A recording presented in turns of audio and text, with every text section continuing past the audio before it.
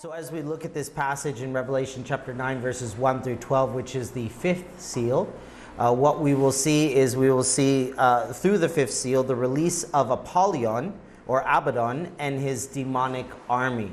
And this is going to be a very significant event on the earth, obviously, during that time. Again, just a reminder uh, for us in Calvary Chapel, we believe strongly, firmly that we will not be here during this time but the rest of the world who has not believed in the Lord Jesus Christ will be here during this time, and they will be suffering under these punishments primarily so that they would have a chance to repent.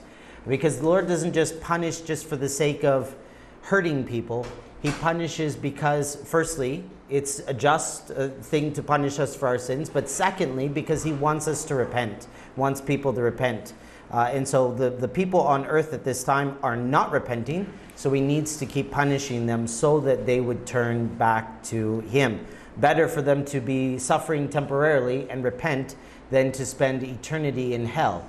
And so God makes it very clear to them that they need to change their ways, and especially through this fifth seal, uh, this, sorry, this fifth uh, trumpet judgment.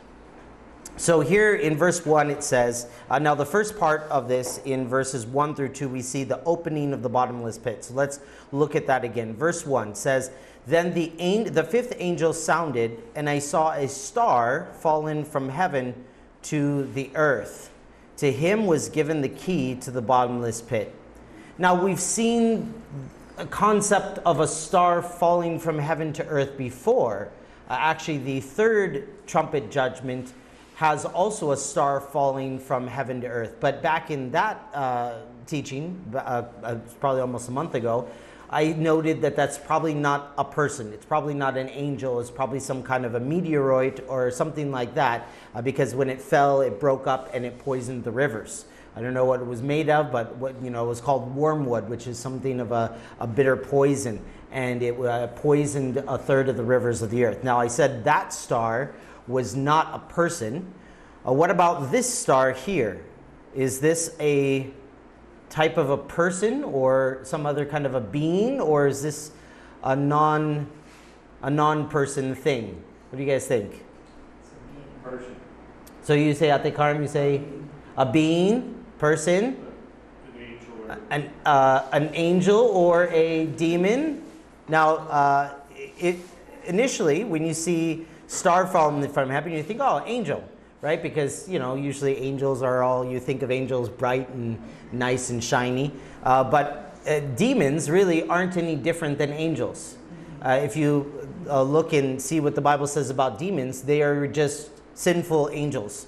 And so their nature doesn't look any different. It's not like when they uh, when they fell into sin that they became all twisted and gnarly or something. No, they can make their appearance look just as beautiful as an angel. In fact, Paul warns us about that in Galatians that if an angel comes to you preaching another gospel, that let it be accursed. You know, it's, it's not of God. So things could appear to us as angelic beings and still be of a demonic nature.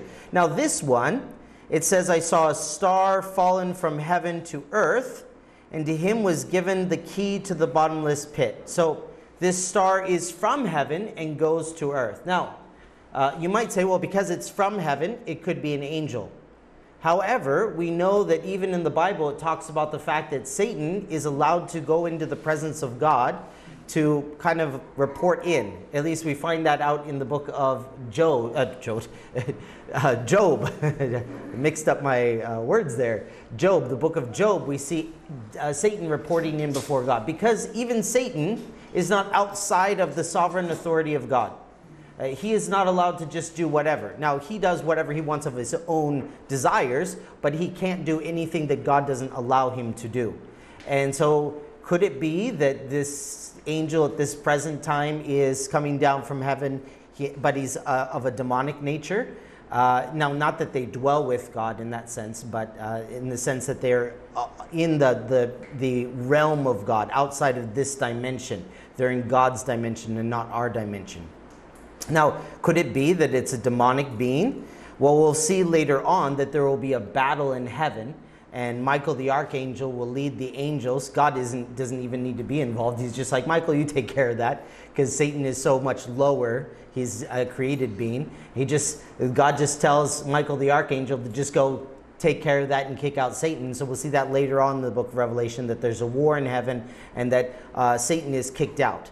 And so, could it be that this is actually demonic being that goes down to release these also possibly demonic beings? It's possible. I don't know for sure, uh, but given the the the, uh, the the look of it, it almost feels like it's a demonic being. Actually, it kind of reminds me of what uh, Jesus said in the Gospel of Luke, where after the disciples came back in Luke chapter 10, he says, "I saw a star. I saw uh, Satan fallen from heaven," and you know, kind of like the descending kind of look. Now, uh, is it absolutely a, a, demon or an angel? I don't think you could say either way, uh, but it's somebody who's ultimately under the control of God, under the dominion of God, who is allowed under God's uh, sovereignty to release this plague of creatures or demonic beings onto the earth.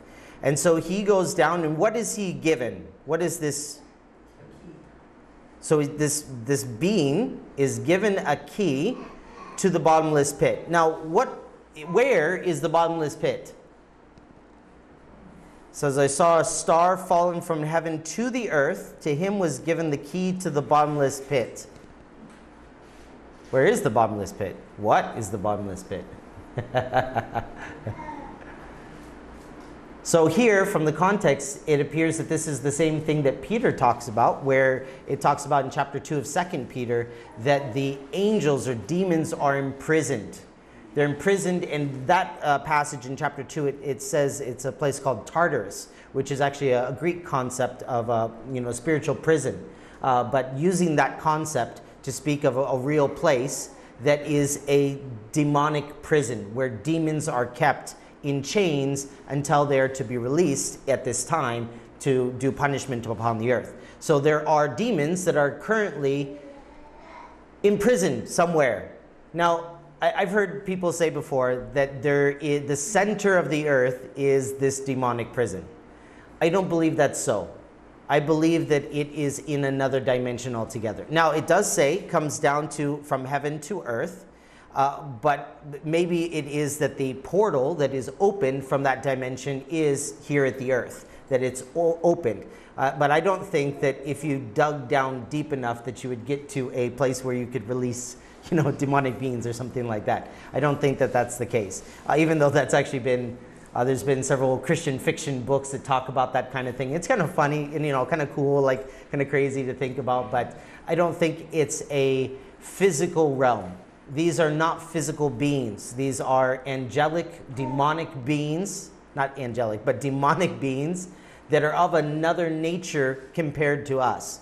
So they wouldn't be bound by physical boundaries. Uh, so it is a spiritual prison. Wherever this spiritual prison is located, it's in another dimension, I believe. And so he's given a key to the bottomless pit, and he opened the bottomless pit, and smoke arose out of the pit like the smoke of a great furnace. Now, as this opening is as this, this door, I guess, is opened from what I would say is another dimension into this dimension here at the earth, all this smoke comes out of the bottomless pit and into the earth. Uh, and what's the effect of that at the end of verse 2? it's okay if you want to come in. I don't know who that is. Pastor Martin, come in. Join us. Join us. it's okay. And so, as this smoke comes out, what do we see? We see the sun and the air are darkened because of the smoke of the pit. And we've seen this uh, several times before where there's been the sun and the moon that are darkened by various cataclysmic events, maybe uh, earthquakes that dislodge material, or maybe volcanoes, even caused by the earthquakes that dislodge material into the atmosphere. In this instance, or maybe even fires, as the, the grass and green grass has been burned up several times. And so maybe this is uh, some kind of a, but it's, uh, it's a burning from this other dimension, and smoke comes out of it into our dimension, into the earth. And the effect of that is that the air is filled and uh, the sky is darkened so that we can't see. It's a very, uh, a very apocalyptic, you know, where it's just kind of crazy looking and you you kind of uh, see those things in those movies where the earth is about to be destroyed or something, uh, where it looks all darkened and everything like that. So this is the opening that we see. And now we're going to see this demonic army come out forth from this uh, prison, from this spiritual prison. So let's go ahead and read verses. Uh, I'll go ahead and read verse 3 since we've already read it together. So, verse 3 says, Then out of the smoke locusts came upon the earth, and to them was given power as the scorpions of the earth have power. Now, this is a very interesting picture that we have. So, we've got this prison that's opened up, we've got this bottomless pit that's opened up, and out of it comes locusts. Now, uh, as you know by now, I've said it many times at Calvary Chapel, we interpret the Bible literally unless it can be shown that it's probably figurative.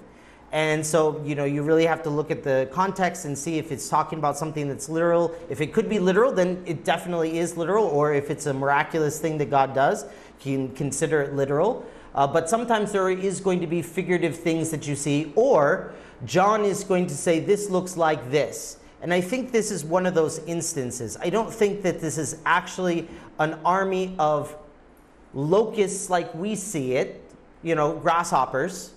I think this is a demonic army that, in its general form, looks like grasshoppers uh, because they've got wings. But it's more like the kind of grasshoppers you see in Bug's Life. You guys ever seen the movie Bug's Life? My 90s kids, you know, Bug's Life, right? Uh, with those grasshoppers, and they kind of like have faces like men, right? That's what I think of. Not like a regular grasshopper that you would see, but like a, a, a demonic looking grasshopper. And we'll see later on, it, it's not like a regular grasshopper. They have faces like men, they've got hair like women, uh, long hair, and I've never seen a grasshopper with long hair. So uh, it's not really a grasshopper grasshopper, uh, but it is a flying thing. Uh, and, and you know, you, you, think of the angels and the demons, the, the demons are just angels, right?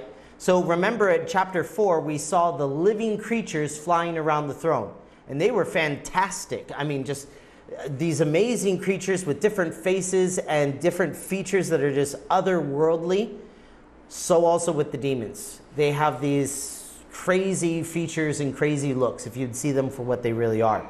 And so we see here that this group of locusts, this army of locusts come out of the earth. And what's the power that's given to them? So in verses 3 through 6, we'll see a description of the power and the authority of this locust army. So in verse 3, what is the power that they are given? Last part of verse 3. What power are they given? As scorpions of the earth have power. So they have a similar function. Uh, and so we'll, we'll see as, they, as we go along it's the, the power to hurt men and women, hurt mankind, but not to kill. And generally, uh, if you look at scorpions, uh, which I'm not sure, I don't think there's scorpions in the Philippines. Scorpions here in the Philippines? Rare lang. In some of the forests? Okay. So, because I, I know like different places there, they have different types of scorpions. In Vegas, we have these big black scorpions. You've seen that, Ed, out in the outskirts? Uh, we lived in this place that was kind of more in the desert, and uh, that was actually before we were coming to the Philippines in 2003. We stayed at somebody's house, and it was kind of far out in the desert. And so one morning, go out in the garage, and there's these two black scorp- big black scorpions fighting with one another, you know, with their tail. And you know, they've got their little pincher things. Almost looks like half crab, half I don't know. You know, scorpions are so crazy looking, right? And so it's got eight legs. So I was looking it up. Apparently, it's it's in the same family as spiders, arachnids. And I'm like, wow, I never thought of spiders and scorpions at the same because they've got those big claws and then they got that big stinger on the back there. And if you get stung by a scorpion, which I've never been stung by a scorpion, but I read about it, and it's apparently very, very painful, but rarely is it deadly. deadly. And they are given power as scorpions. They're not scorpions, but they're given power as scorpions. Although later on we will see that they have a tail that they can harm people with. So, kind of part locust, almost like a horse with women's hair, and later on we'll see they've got this tail that they hurt people with. And so they got power like a scorpion, meaning to say they can't kill people, but they can hurt people a lot. Looking at verse 4, we see part of the limits of their authority. What are they allowed to do? So in verse 4, it says, They were commanded not to harm the grass of the earth, or any green thing, or any tree, but only those men who do not have the seal of God on their foreheads. So here we see the limits of their authority. Now, previously, we saw in a previous judgment that all of the green grass was burned up. So, what's up? Why is there green grass here again? What's that? So there's we don't know how much time is in between these different judgments. We know there is time because the, the tribulation period is seven years, but we don't know how much time. So obviously it's enough for the green grass to grow. But again, you know, how long does it take for grass to grow, right? I don't know. Like maybe a week or something like that. So it's pretty fast. Uh, you could burn off the top layer of grass and there would still be seeds underneath that could grow back up. And so some of the grass has begin, begin, uh, again been, been able to grow. And remember, the trees weren't completely consumed in the previous judgments, only partially consumed. So there's still trees, there's still green grass and, and green growing things. And so the, the earth has started to have some growth again from the previous burning judgments. And this judgment is not focused on anything natural, it, it, except for humanity. It's focused primarily on humanity. But who is spared from being struck by this plague? So the ones with the seals on their head, but who are the ones with seals on their heads? Remember back to chapter 7? The 144,000 were sealed, and they are of the, the tribes of Israel. Now, I assume, because it's not clearly stated, that if there are any Christians on earth at this time, that they would have already been killed by the Antichrist if they got saved during this period. No, uh, it, right now we're having a very linear perspective, like this, this, this, and this. But when we get to chapter 13, it'll take a view back and it'll say this was something that was going on during this time period. And so it'll say you know what's what happened with the beast and the you know the antichrist and all this stuff? It'll take a view back to what was going on and saying this is happening at the same time. So we have these interluding visions if you remember and that happens again in chapter 13 looking back at this time. And what we find out from that is that during this time if there is anybody who won't uh, take the mark of the beast, which if there's anybody who gets saved at this time, they won't take the mark of the beast, then that person cannot buy or sell food and or any kind of goods. And if they will not uh, bow down and worship the image of the beast, which who knows what that is? Maybe some kind of AI robot. Who knows? You know, who knows what that is? That, that it mimics the beast, right? If they won't do that, then they will be beheaded. So if there is a Christian on earth that gets saved, they will be killed.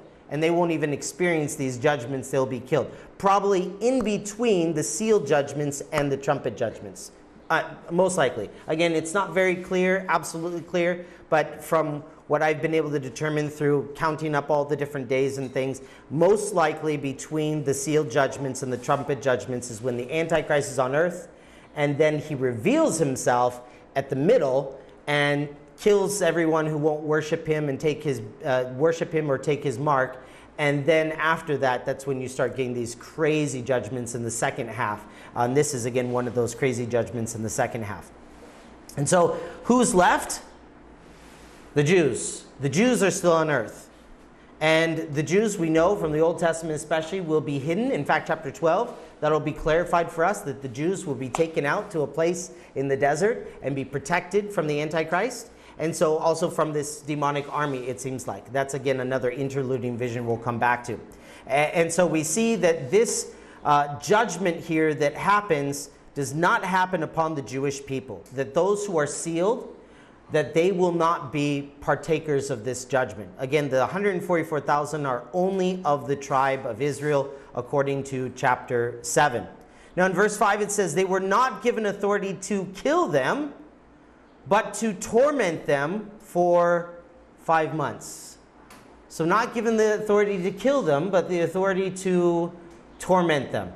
and five months of complete terror. Now, you know, you think about uh, difficult situations, and I don't know if you guys have ever been through a very difficult, like typhoon or storm. I know I haven't experienced one that like completely destroyed everything I have, uh, because Dum- Dumaguete we don't generally have stuff, but. Uh, of course, we had that storm pass through Bindoy where a lot of people lost their homes and their uh, churches and things like that. And uh, right now, I'm thinking about because in the U.S. there's this massive uh, storm that just went through Florida and just a whole bunch of devastation. Right, Milton, yeah, Milton. And right a week ago was Helene. Helene, Helene. I don't know how they pronounce it. Uh, and so, you know, you think about, and, of course that happens. We're kind of used to that in the Philippines uh, because uh, it's happens so frequently that typhoons hit us over here. Uh, but, but also in Florida, it's quite frequent. And so, but you know, going through suffering, usually it's a you know short amount of time, and then things get back to normal. But man, this is going to be five months of just constant pain as these demonic beings go around harming the peoples of the earth consistently, constantly. I mean, it's just going to be a time of weeping and wailing, and well, as we see later with another judgment, just probably gnashing of teeth as people blaspheme God and spew their hatred towards God and not repent of their sins. And uh, it's just going to be a time of, of terror on the earth, a time of torment. But they could turn to the Lord. They could repent of their sins, but they're going to choose not to. It says their torment was like the torment of a scorpion when it strikes a man, which again is very painful, but in, its, in terms of a scorpion, not generally deadly, uh, generally just very, very painful. Verse 6 In those days, men will seek death and will not find it. They will desire to die, and death will flee from them. Now, this is kind of interesting because you know, you, you think about it, why, why they say they want to die, why can't they commit suicide? Not, and I'm not saying it's a good thing, I'm not saying they should. But, you know, somebody who's an unbeliever, who has nothing to live for and wants to die, I mean, why does it say they won't be able to die? Now, that's kind of something I've heard a lot of speculation over the years. Uh, because some people, some people say that there's going to be medical advancements during this time that will allow people to be regenerative and so if they lose an arm, the arm will grow back, kind of like a, you know, how a crab grows back its claw, something like that. I, have heard lots of theories about this. In fact, there's been uh, research with mice that they, they'll, they'll break the mice's back, you know, and then they'll uh, do some kind of, I don't know, something that they'll inject with the mice, some kind of genes, and the mice grows back its spine and is able to recover and heal itself and it's kind of like crazy. I'm like, wow, this is interesting. I've even heard people say that the mark of the beast is actually the beast, uh, the Antichrist genetic code. Remember how? Well, well, well, we haven't gotten to it yet, but it's it's going to be earlier on when the Antichrist is revealed at the beginning of the seven years. Uh, that uh, the Antichrist will have a mortal wound, but that he will heal miraculously. And so there's been speculation that maybe he will give some of his genetic material, and that's part of the mark of the beast. That when he marks you, his genetic material is given to you so that you can't die, and that will be one of the things why people want to worship the beast, because they'll have the promise of living forever. I don't know, it's not very clear on that, but for some reason, they won't be able to die. For, for some reason, they just won't be able to die. Maybe they'll try and do it. Maybe they'll be like Wolverine. You know, I haven't seen the latest movie because it's got way too much profanity and nastiness, so I don't want to see Wolverine versus whatever. Deadpool. Deadpool, whatever that, yeah, whatever that one is. I haven't watched that. Uh, but you know, Wolverine, he can uh, shoot himself in the head, and then the bullet pops out, and he's like, "Okay, I'm back." You know.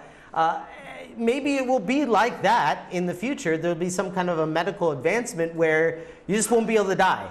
I don't know exactly for sure, but for some reason they won't be able to die. They will want to die, and they won't be able to die uh, for some reason. But that's the power and authority of the locust army. They will be. They will have authority over all mankind except for those who are sealed, the 144,000 Jews that are sealed and that are worshiping God and serving God on the earth. They won't be able to uh, hurt them. But every other human that is on earth during that time, they will be able to hurt for five months but not be able to kill. And that will probably be part of the torment that they just won't be able to die. Now, in verses 7 through 10, we have a description of the appearance of the locust army, which is why I believe they're not actually locusts, because They have a very weird description. So let's continue in verse 7. Verse 7 it says, The shape of the locust was like horses prepared for battle. So the shape, I've never seen a locust that looks like a horse. so it's got wings, but it's it's it's not a grasshopper. You know, it looks more like a horse. So the shape of the locust was like a horse, or like horses prepared for battle. And we'll see further what this means because they've got. Uh, as a, as a battle horse would be with armor and all kinds of fancy things, that's what they look like as well. So, looking at the second half of verse 7, it says, On their heads were crowns of were crowns of something like gold, and their faces were like the faces of men. Now, I think John knows what gold looks like, and so he's saying it's, it's not gold, it's something that looks like gold, so yellowish and shiny, but I don't know. I don't know what it is exa- actually. John doesn't know. He says it looks like gold, so something goldish and shiny. Uh, maybe it's, you know, super gold. I don't, I don't know what it is, uh, but something that looks like gold. And then additionally, their faces were like the faces of men.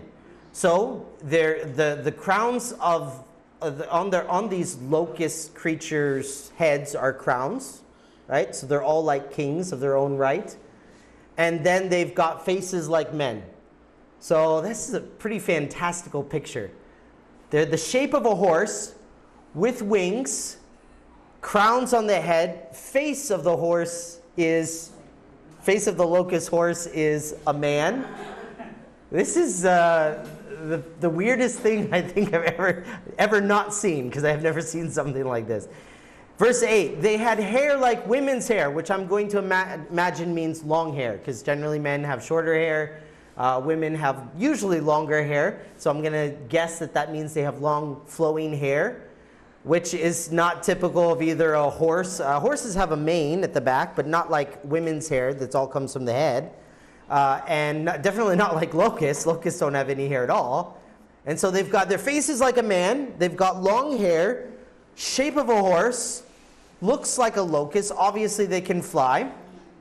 In verse uh, 8, second half verse 8, it says their teeth were like lion's teeth which means probably mostly incisors, the, you know, the sharp teeth, incisors, where they can tear into flesh. So, you know, look all happy when they smile at you and they got those all those sharp, nasty teeth. Ooh, kind of creepy. Hope you don't have nightmares later on. so they've got teeth like lion's teeth. Verse 9, they had breastplates like breastplates of iron, which generally, if you're, you know, the picture of a horse prepared for battle, uh, horses that would go into battle would have a, a, some kind of armor, especially on the front, front armor, and then maybe a little bit on the sides, not too much, but a little bit, and then especially on the front and on the head as well. So they've got breastplates of iron to protect them from, you know, weapons. And then we have a description of what they sound like. So the sound of their wings was like the sound of chariots with many horses running into battle. So you've got this just tremendous sound. Uh, if ever you've heard like a lot of wings flapping together, uh, if ever you've you know seen a big uh, swarm of locusts, I don't know. Have you guys ever seen a swarm of locusts or a swarm of like bees, maybe even? Ever ever been attacked by a swarm of bees? Hopefully not. Hope not. But if ever you've heard a big group of some kind of a, a creature like that, even small bees and locusts can make a big sound. What about creatures that are like the size of men with wings that big? What kind of a sound is that going to be like? It's going to be a massive sound. And, and so you've got this amazing, terrifying sound of these wings, like the sound of chariots with horses running into battle. So it sounds like a chariot army because the wings are so loud. In verse 10, continues the description. It says they had tails like scorpions, and there were stings in their tails. Stings, plural, in their tails. Their power was to hurt men five months. So they've got tails, which most scorpions, I mean, they, they have an abdomen, but they don't have like a tail. So this is different than a traditional scorpion, just like it's a horse with this long tail. Like a scorpion, a locust horse scorpion. it's crazy. So you've got this tail sticking out with stings, plural, in it. Now, I don't know uh, what John is describing there, but it's plural, stings, plural. I'm not sure if that's just referring to the fact that it can keep stinging you, or if that's referring to the fact that there's multiple things that sting you, not like a traditional scorpion, which just has one stinger. Maybe this has multiple stingers coming out of its tail. But uh, whatever it is, it's very, very painful when it hits you.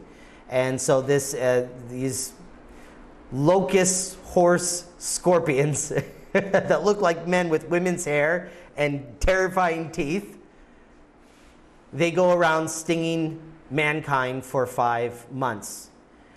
Uh, now, uh, I've seen, uh, you know, many people will say different things about this locust army, and, you know, who knows? Honestly, I don't know because it hasn't happened yet. But sometimes they'll say maybe this is Apache helicopters, you know? I, I don't think so because Apache helicopters don't really look like horses. I mean, maybe. I don't know. Maybe not, not quite. And there's definitely no stinger, like tail stinger uh, unless it's a different new type of helicopter that has some kind of a thing. I, I don't know for sure. Uh, but they, they compared to like Apache helicopters uh, or something like that. I don't see that. I honestly don't see that. Some other people have compared it to tanks with their, you know, the tank turret. And he thought it was the stinger at the back, but it's really the turret and it shoots out of the turret. I don't think that's the case either. I think it's a demonic army that looks like elements of the natural world. It looks a little bit like a locust. It looks a little bit like a horse. It looks a little bit like a scorpion, but it's a demonic army. It looks also a little bit like a human, but it's a demonic army.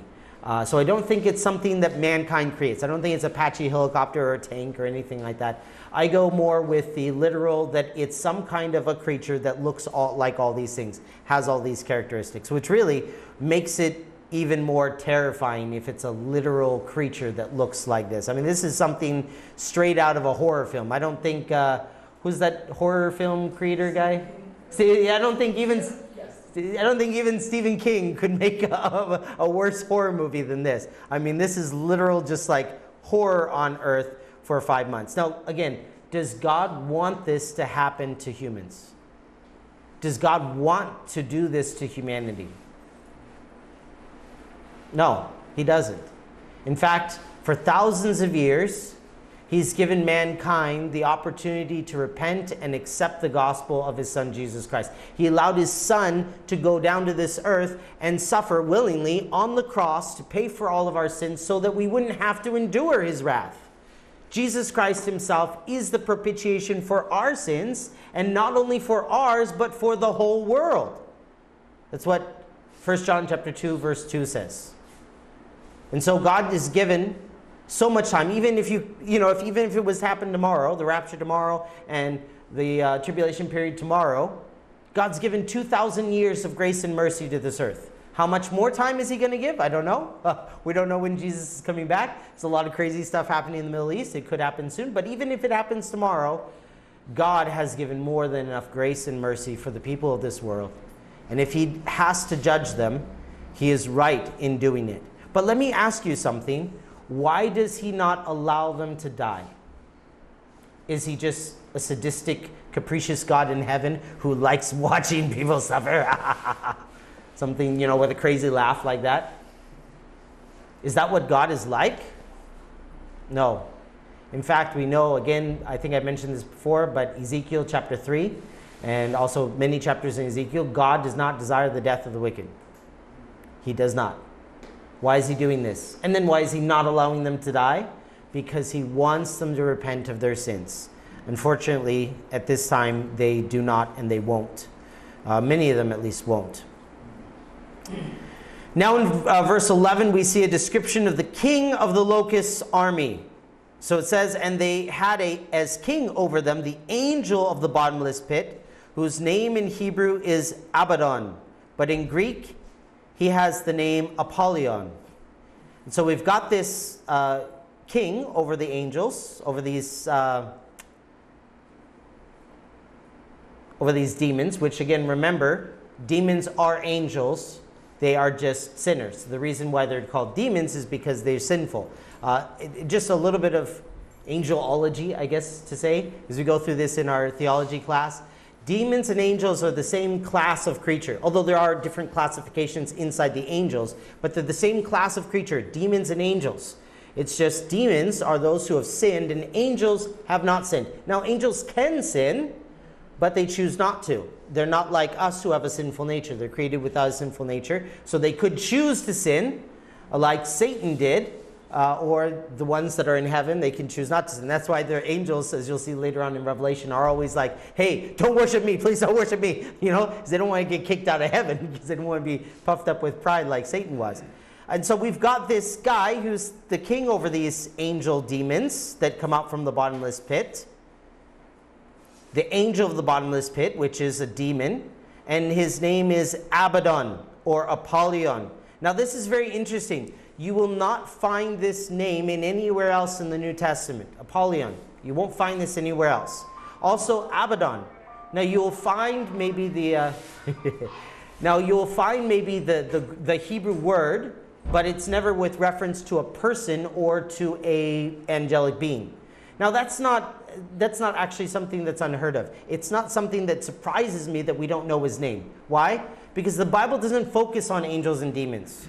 That's not supposed to be a big focus of what we're thinking about all the time. I know with the Catholics, they have a whole bunch of names. So like there's this angel, this angel. For all we know, those are actually demonic names, you know, uh, for all we know. Uh, but there's all these different angel names that they have, that supposedly angels. Well, the Bible doesn't have those names. Why?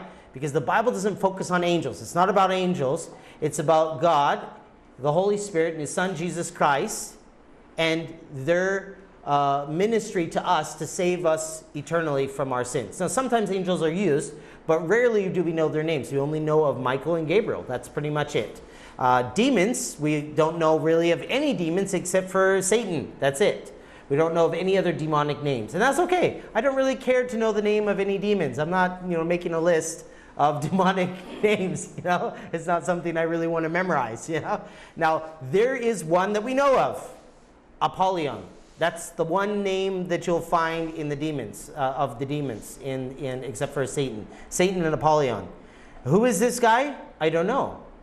Some kind of king demon of these imprisoned demonic forces. Uh, and in fact, it's, it's fascinating, it's interesting because there's a Greek god, Apollo. You heard that, familiar with that? And I wonder, in fact, I, I, was looking up a, a couple Bible dictionaries, seeing if there's anything in you know, early Christian literature about this or anything like that. But the Greeks had a god, Apollo. And I was thinking about that. Isn't that fascinating? We often think of idolatry and false gods as just nothing. But the Bible doesn't say that idols and false gods are nothing. The Bible says that idols often represent demonic beings. And in the case of Apollo, hmm, seems like it maybe represents an actual demonic being who is the destroyer. And Apollo, the, the root word destruction, destroying, uh, and that's also the, uh, the Greek god Apollo was the god of destruction, as well as a bunch of other things as well. They kind of had him for a lot of different things, but Apollo. Isn't it ironic that the people of the earth who worship these false gods, one day they will meet them and realize, oh, uh, it's actually a real being and it's not someone who's my friend these demons, these idols that people worship. And I, I, think about this around the world. So many idols that are worshipped. I don't know if any of you guys have been over to uh, like India or Thailand. And uh, me and me and Pastor Martin, we're travel buddies. You know, we went to Thailand. Uh, but if you go to India, uh, Thailand, so many gods. Uh, in fact, actually, I met someone here in Cebu, a Hindu, and I went to a Sikh temple because I was doing a research paper on Sikhism. It's another religion. And uh, I met this Hindu there, and he was telling me all about his favorite god, some elephant god with a bunch of arms and his foot on somebody's head. And I was like, really creepy. You know, I'm like, you like this guy? You know, you know, our God, Jesus, died on the cross because he loved us so much. Their God is like, you know, like this with his head on somebody's, his foot on somebody's head. I'm like, you think that's gonna be a nice guy? You know, like if you were to meet that guy, would he be your friend? You know, uh, it, it, was interesting. We had a really great conversation until because uh, he thinks that all. Uh, all gods are incarnations of Shiva, their main god. All gods, including Jesus.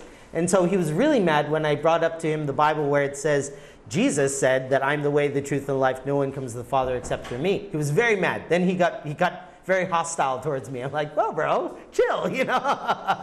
but but he uh, he got very angry. Uh, but they're gods. I don't think that they're nothing. I think they represent demons. Not you know gods in the sense of the one true God who created the heavens and the earth.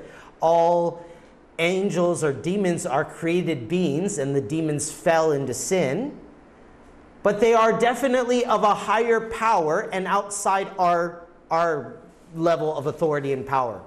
And so, to most humans, especially ancient humans, they would be seen to be as gods, or maybe even aliens. You know, today there's a lot of talk about aliens, or maybe they're just demons.